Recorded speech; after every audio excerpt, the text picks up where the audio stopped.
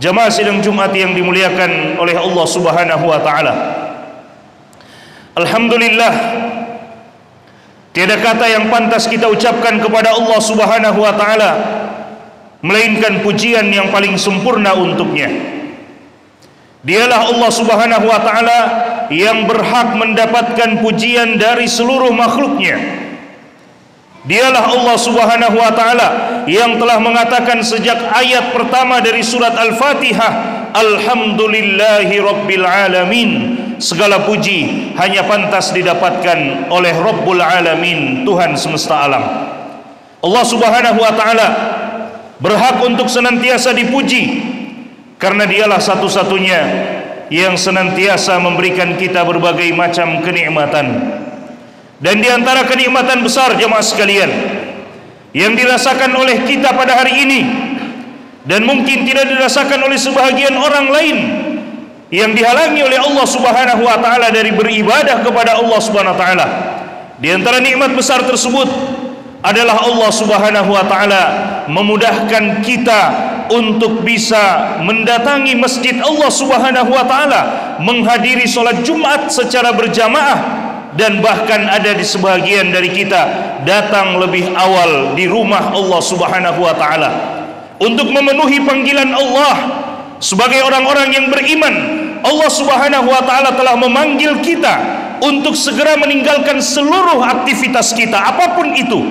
Meninggalkan seluruh aktivitas kita ketika kita telah dipanggil oleh Allah Subhanahu wa taala untuk mendirikan salat Jumat secara khusus Allah Subhanahu wa taala mengatakan, "Ya ayyuhalladzina amanu." Allah menyeru kita dengan orang-orang yang beriman jemaah sekalian.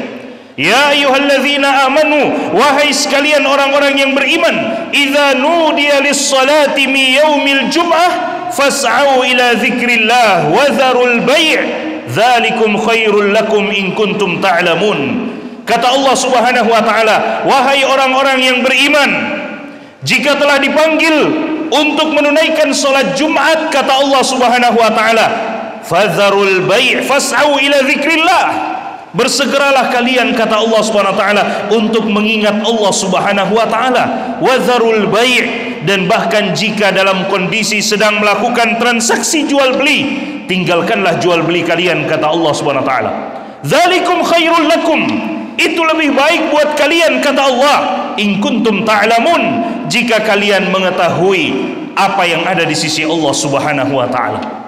Jemaah sekalian yang dimuliakan oleh Allah Subhanahu wa taala, dari ayat ini pula para ulama kita mengambil hukum bahwa jika ada orang yang masih bertransaksi laki-laki yang diwajibkan untuk sholat Jumat jika masih bertransaksi pada saat khatib sudah naik ke atas mimbar maka transaksinya tidak dianggap sah bahkan sebagian mengharamkan transaksi tersebut.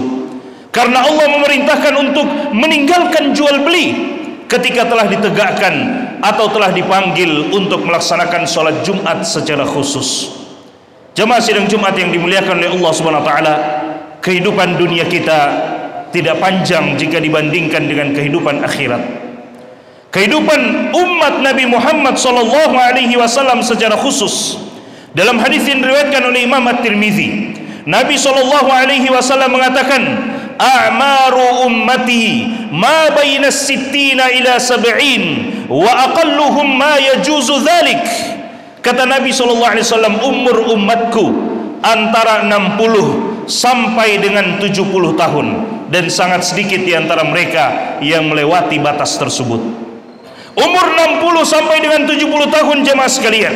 Jika kita berani menghitung secara pribadi-pribadi kita menghitung masing-masing dari umur 60 sampai 70 tahun atau umur kita sekarang jika kita berani menghitung masing-masing sudah berapa banyak yang kita gunakan untuk tujuan kita hidup yaitu ibadah kepada Allah Subhanahu wa taala Berapa banyak dari waktu kita kita gunakan untuk beribadah kepada Allah Subhanahu wa taala jika dibandingkan dengan waktu kita yang terbuang sia-sia?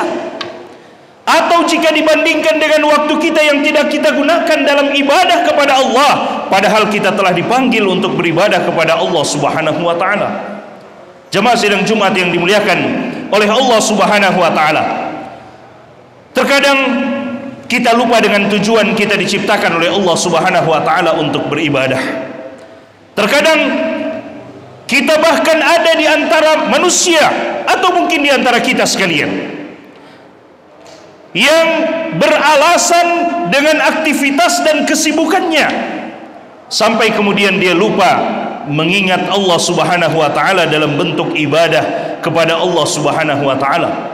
Padahal dia diciptakan oleh Allah Subhanahu wa taala bukan untuk kesibukan tersebut melainkan untuk ibadah kepada Allah Subhanahu wa taala. Allah Subhanahu wa taala mengatakan, "Wa ma khalaqatul jinna wal insa illa liya'budun." Ayat yang sudah dihafalkan oleh anak kecil sebelum orang dewasa. Sudah dihafalkan oleh orang-orang yang baru belajar membaca Al-Qur'an sebelum para penghafal Al-Qur'an. Allah Subhanahu wa taala mengatakan, "Wa ma khalaqatul jinna wal insa illa liya'budun." Seorang mukmin paling minimal dia hafal terjemahan dari ayat ini. Allah katakan, "Tidaklah aku menciptakan jin dan manusia melainkan untuk beribadah kepadaku." Ayat yang sudah dihafalkan oleh setiap orang beriman kepada Allah. Tapi mana pembuktiannya jemaah sekalian? Bagaimana dengan pembuktiannya? Apakah ayat Al-Quran hanya sekedar ayat yang dihafalkan atau dibacakan atau diajarkan? Tapi kemudian dalam bentuk pengamalannya kita belum menjadi orang-orang yang benar-benar mengamalkan isi dari Al-Quran tersebut. Jemaah yang dimuliakan oleh Allah Subhanahu wa taala. Allah tidak melarang kita untuk beraktivitas selama aktivitas itu adalah aktivitas yang tidak diharamkan oleh Allah Subhanahu wa taala. Allah Subhanahu wa taala tidak melarang kita untuk bahkan menjadi orang terbaik di dunia ini tidak. Allah tidak melarang kita untuk itu jemaah sekalian. Bahkan Allah Subhanahu wa taala memerintahkan kita untuk segera mencari silahkan mencari yang terbaik dari kehidupan. Jika kita adalah seorang mahasiswa, Allah perintahkan silahkan menjadi mahasiswa yang terbaik.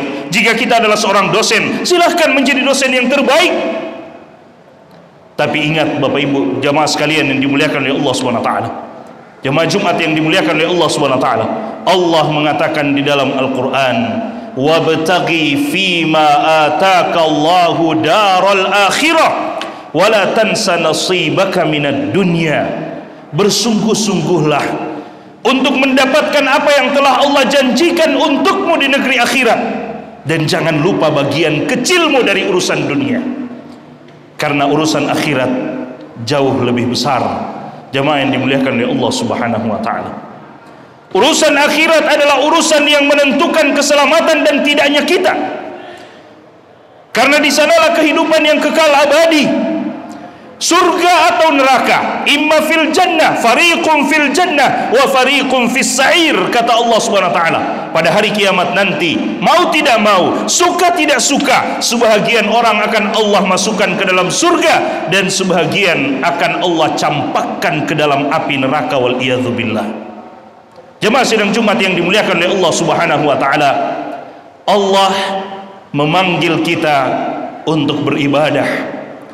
Dan di antara rahmat Allah subhanahu wa ta'ala tidak setiap waktu Allah memanggil kita untuk ke masjid. Ada waktu-waktu tertentu. Sholat lima waktu misalnya. Dan sholat jumat misalnya. Tidak 24 jam Allah memanggil kita untuk datang ke masjid Allah subhanahu wa ta'ala Meskipun 24 jam itu semua kehidupan kita harus kita jadikan bernilai ibadah di sisi Allah. Qul inna salati wa nusuki wa mahyaya wa mamati lillahi rabbil alamin. Kata Allah dalam Al-Qur'an, katakanlah salatku, penyembelihanku, bahkan hidup dan matiku semuanya untuk Allah Subhanahu wa taala harus bernilai ibadah. Namun tidak 24 jam kita diminta untuk datang ke masjid jemaah sekalian yang dimuliakan oleh Allah Subhanahu wa taala. Jujur, saya sudah mempersiapkan khutbah yang saya sampaikan lain pada kesempatan kali ini. Mohon maaf. Karena begitu saya datang, masjid ini masih kosong. Saya berpikir mungkin nanti di akhir khutbah baru akan terisi. Alhamdulillah, pada saat khutbah awal khutbah sudah mulai berdatangan.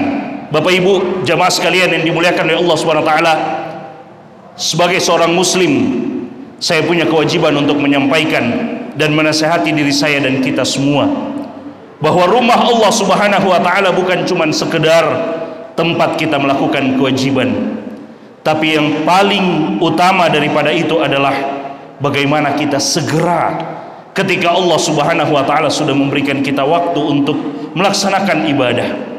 Ibadah adalah tujuan kita diciptakan. Adapun urusan dunia itu adalah jembatan, sarana, semuanya adalah sarana.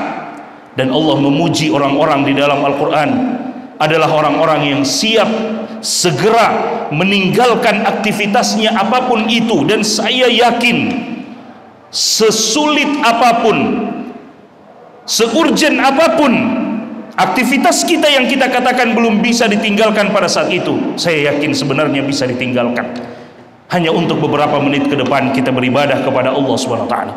Allah memuji orang-orang yang segera meninggalkan aktivitasnya. Dalam rangka tujuannya sudah berada di hadapannya Allah mengatakan rijalun la tulhihim tijaratun wala bay'un an dzikrillah wa iqamis salah wa ita'iz zakah yakhafuna yawman tataqallabu fihi alqulubu wal absar Kata Allah Subhanahu wa taala rijal, manusia-manusia yang luar biasa itu adalah kata Allah la tulhihim tijaratun wala bay'un an dzikrillah. Perniagaan mereka, jual beli mereka, aktivitas mereka tidak melalaikan mereka dari mengingat Allah Subhanahu wa taala. Wa iqamis shalah, mereka segera mendirikan salat. Wa itaiz zakah, jika mereka termasuk orang yang wajib mengeluarkan zakat maka mereka mengeluarkan zakat.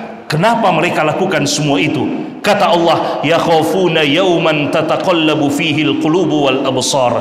Karena mereka sangat takut dengan suatu hari yang pasti akan datang di mana hati dan mata terbolak-balik menunggu keputusan dari Allah Subhanahu wa taala. Jemaah sidang Jumat yang dimuliakan oleh Allah Subhanahu wa taala, umur kita tidak begitu panjang di dunia ini. Nabi telah mengatakan antara 60 sampai 70 tahun dan sangat sedikit dari mereka yang lewat daripada itu. Bahkan ada di antara mereka yang belum sampai 60 tahun telah dipanggil oleh Allah Subhanahu wa taala. Jangan tertipu dengan kesehatan yang kita rasakan pada hari ini. Jangan tertipu bahkan dengan umur yang masih muda yang mungkin kita rasakan pada hari ini. Berapa banyak anak muda yang dia di sore dan di pagi hari bangun dalam keadaan tertawa bangga tapi dia tidak menyadari ternyata kain kafannya telah disiapkan tazawwad minat tuqa fa innaka la tadri. Idza janna al-lailu hal ta'ishu ila al-fajri ila al-fajri. Selalu bekali dirimu dengan ketakwaan kepada Allah.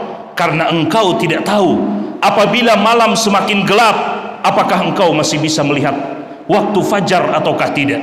Fakam min fata amsa wa asbaha dahikan wa qad nusijat akfanuhu wa huwa la yadri. Berapa banyak anak muda yang di sore dan di pagi hari dia tertawa dan dia tidak sadar ternyata kain kafannya telah disiapkan untuknya. Wa kam min sahihin mata min ghairi illatin wa kam min maridin asyahinan minad dahri. Berapa banyak orang yang sehat bugar kuat meninggal dunia tanpa ada sebabnya. Dan berapa banyak orang yang kelihatannya sakit Allah berikan umur sampai waktu yang tidak ditentukan. Jemaah sidang Jumat yang dimuliakan oleh Allah Subhanahu wa taala sekali lagi Allah tidak melarang kita untuk beraktivitas. Allah tidak melarang kita untuk mengejar cita-cita dunia kita setinggi apa pun. Allah tidak melarangnya. Yang Allah yang Allah celah dari manusia adalah ketika dunia itu melalaikan dia dari beribadah kepada Allah Subhanahu wa taala. Padahal nabi telah mengatakan untuk kita sekalian bahwa jika dibandingkan dunia ini dengan apa yang ada di sisi Allah maka niscaya tidak ada bandingnya meskipun seperti selembar sayap nyamuk. Kata nabi sallallahu alaihi wasallam "Lau kanatid dunya ta'dilu 'inda Allah janaha ba'udah" Seandainya dunia ini ada nilainya di sisi Allah, meskipun nilai itu seperti selembar sayap nyamuk saja, masaqa minha kafiron syurbata ma'in. Maka Nabi mengatakan, niscaya orang-orang yang kafir kepada Allah tidak akan Allah berikan minum meskipun hanya segelas air untuk mereka. Tapi nyatanya bukan hanya segelas air.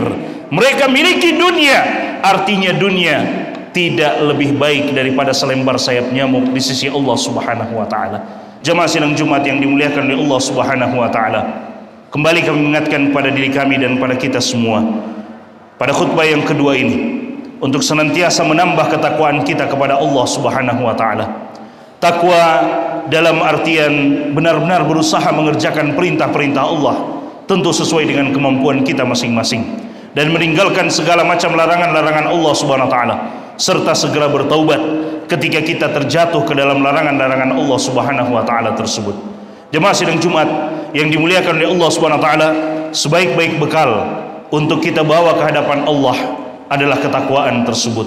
Wa tazawwadu fa inna khairaz zadi taqwa. Berbekallah kata Allah Subhanahu wa taala dan sebaik-baik bekal adalah ketakwaan kepada Allah Subhanahu wa taala.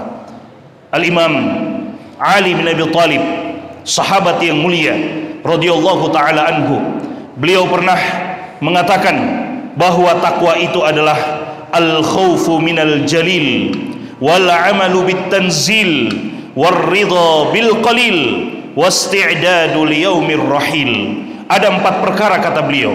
Takwa itu adalah al khaufu minal jalil senantiasa menanamkan rasa takut kepada Allah Subhanahu wa taala yang maha mulia yang kedua beramal ibadah sesuai dengan apa yang Allah turunkan dalam Al-Qur'an ataupun hadis Nabi sallallahu alaihi wasallam. Dan yang ketiga ar-ridha bil qalil selalu merasa cukup dengan apa yang Allah bagikan meskipun itu sedikit. Wasti'dadu liyaumir rahil dan yang keempat adalah selalu mempersiapkan diri untuk hari perpisahan yaitu hari kematian.